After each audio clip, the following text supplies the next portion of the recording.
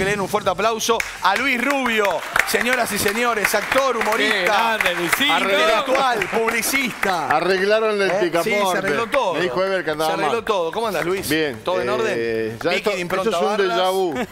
Ortelli. Ortelli, ¿cómo estás? ¿Cómo andás? Bien. Lo bueno de que venga yo es que tenés como varias, varios invitados, varias Sí, entradas. está buenísimo. Ven y sentate. No sé si Eh, conoces ya- el camino. Ya me enteré qué pasó con Ever. No, ¿qué pasó? ¿Qué pasó? ¿Qué pasó? Eh, primero se deprimió porque perdió. Pero si está acostumbrado.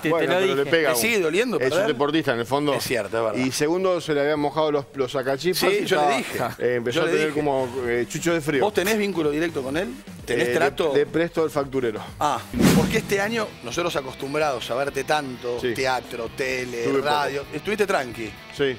En la Decisión, radio. decisión tuya, este año Sí, por ahí decidí bajar un y poco. ahí un se hago en sin codificar, hace alguna participación esporádica, pero no, son cosas que se van dando y, y bueno, a veces uno también toma carrera, retrocedes un paso para Bueno, después Bueno, retroceder esto es tres. todos los días.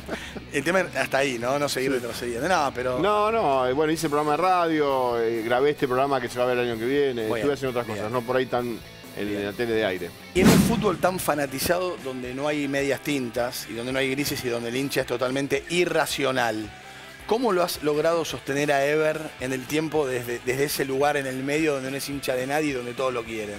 Porque está un poco afuera, digamos, juega con otros resor- otros resortes del fútbol que no son, digamos. Eh, hay, hay muy poco espacio para el humor dentro del fanatismo. O sea, si vos vas a. cual- si vos te centrás ahí para hacer humor, estás frito, porque donde nombraste a la competencia, Claro. o al adversario, al rival, ya Uno te se lo empiezan toma a pecho. Miran mal. sí. Ever se mete con el folclore del futbolista, pero más de, de- de- como el futbolista del empresario, ¿viste? El tipo de. Total. ¿no? Le va Coincide- mal, le va coinciden bien. que Ever es el tipo más querible del Pero fútbol. totalmente, Sí, claro. ni tengas duda. Claro. Es el tipo Sí, que todos Ni quisieran invitar a comer. Sí, o aparte se para como en el fracaso, digamos, y de eso lo vuelve Es un antihéroe, y- es un antihéroe. Y no choca, digamos, ¿viste? Sí, Es el antihéroe del fútbol, Claro. Total. sin lugar a duda. Total. hace Y- lo que puede. como- ¿Cuándo la- cuándo- cuándo- ¿Cómo te surgió? ¿Cómo fue?